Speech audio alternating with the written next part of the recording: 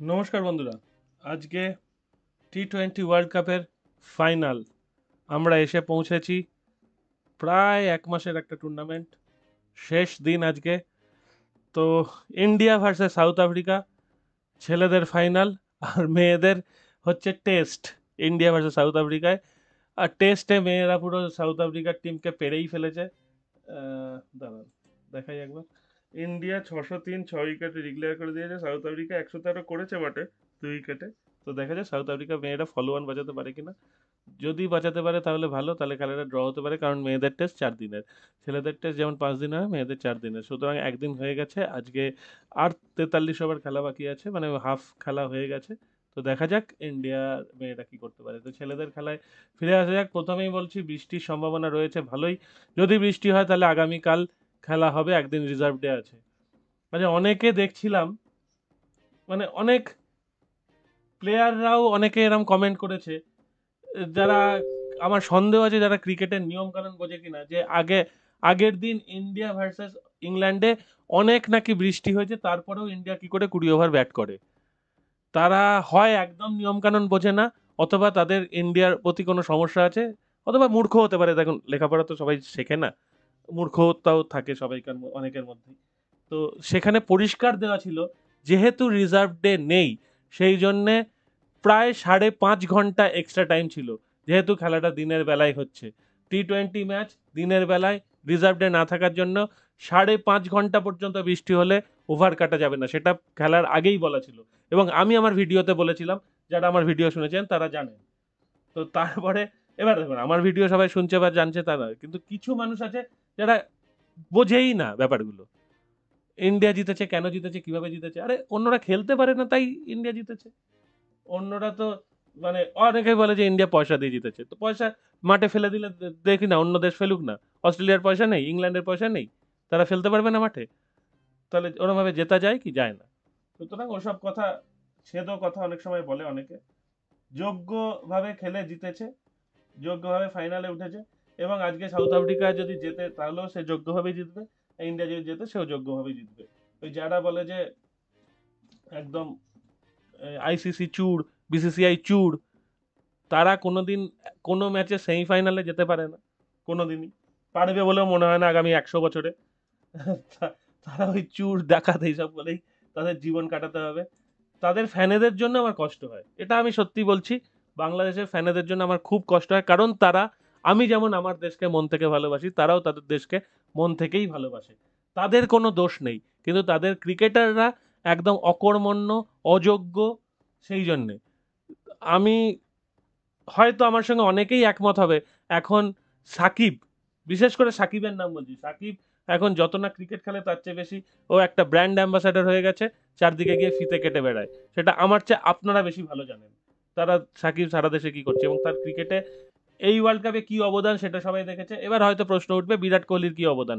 বিরাট কোহলির অবদান এই ওয়ার্ল্ড কাপে খুবই কম, কিন্তু point to be noted Virat Kohli কোনোদিন দেশের ওপেন করে না। তাও আবার এরম একটা শক্ত পিছে বিরাট কোহলি দেশের স্বার্থে ওপেন করতে গেছে। সেখানে বিরাট কোহলি একটু নড়বড় করছে। খুব স্বাভাবিকভাবেই বিরাট কোহলি ফর্মে নেই। সেটা দলের জন্য ক্ষতি হচ্ছে। কিন্তু জানি না কোন কোন অদৃষ্ট কারণে শিবম দুবেকে চান্স দেওয়া হয়েছে এবং শিবম দুবেকে খেলাতেই হবে এবং চার নম্বর বা পাঁচ নম্বরে অনেক সময় হার্দিক পান্ডিয়ার পরে ব্যাট করতে নামছে। কি দরকার তাকে একটা ব্যাটসম্যান হিসেবে টিমে রেখে তাও জানি না। জাদেজা তার আগে ব্যাট করতে নামছে, তারপর শিবম দুবে নামছে, নেমে একটা বল খেলছে আউট হয়ে যাচ্ছে। তাও তাকে শিবম দুবেকে দলে রাখতে হচ্ছে। জানি না কারণটা কি, তবু কোনো একটা কারণে শিবম দুবেকে পরে খেলাতে হবে, সেই জন্যই বিরাট কোহলিকে ওপেন করতে হচ্ছে এবং স্বাভাবিকভাবে এরকম একটা বিভৎস বাজে জায়গায় মানে পিচগুলো প্রচণ্ড খারাপ পিচ যেখানে একটা রেগুলার ওপেনার না হলে ওপেন করাটা খুব শক্ত। আমার তো মনে হয় যশস্বী জয়সওয়ালকে দলে নেওয়া খুব দরকার ছিল, শিবম দুবের জায়গায়। কিন্তু অন্তত আমি যেটুকু বুঝি তাতে শিবম দুবে আজকেও দলে থাকবে, দ্রাবিড় দল চেঞ্জ করবে না। একটা উইনিং কম্বিনেশন দ্রাবিড় চেঞ্জ করতে চায় না। এবং এটাই আমার মনে হয় দ্রাবিড়ের শেষ ম্যাচ অ্যাজ এ কোচ কারণ ওয়ার্ল্ড কাপের পর ইন্ডিয়ার কোচ চেঞ্জ হবে। তো সেইখানে কি হয় দেখা যাক। আর আমার ধারণা ইন্ডিয়া এটা জিতবে। খুব হাই স্কোরিং ম্যাচ হবে না, যদিও এই পিচে একটা হাই স্কোরিং ম্যাচ হয়ে গেছে অলরেডি স্কটল্যান্ড ভার্সেস ইংল্যান্ড ওই পিচেই খেলা হবে ব্রিজ টাউনে তো স্কটল্যান্ড কিন্তু ইংল্যান্ডের বোলিং এর এগেনস্টে নব্বই রান করেছিল দশ ওভারে সেটা বৃষ্টিতে ভিজে ভেস্তে গেছিল তাই।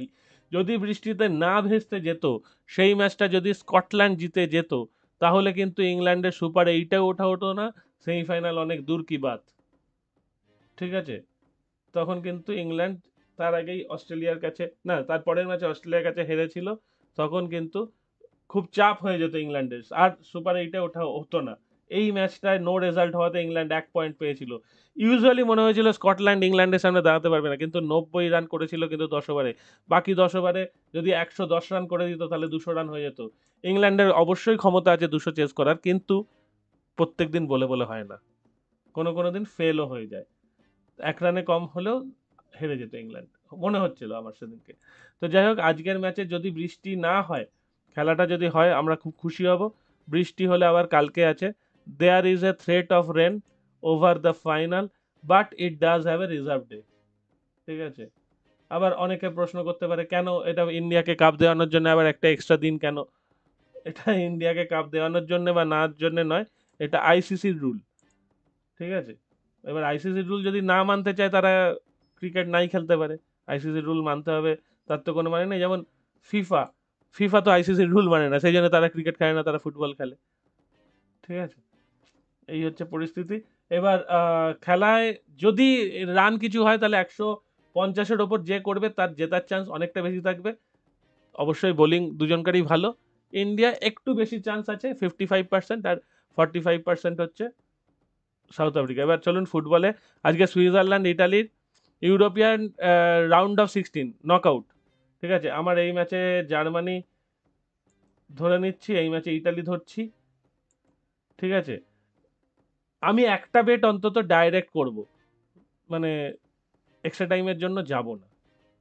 তারপরে একটা এক্সট্রা টাইমের জন্য যাওয়া যেতে পারে যে টু এক্স আর ওয়ান এক্স এইটা একটা এক্সট্রা টাইমের জন্য যাওয়া যেতে পারে, তার রেট কিন্তু ওয়ান পয়েন্ট ফাইভ এইট এইটাই বড় লাগানো যেতে পারে, কিন্তু যদি ভাবুন এইটাই একটা রেট পাওয়া যায় ফোর এটাই কিন্তু খারাপ হবে না।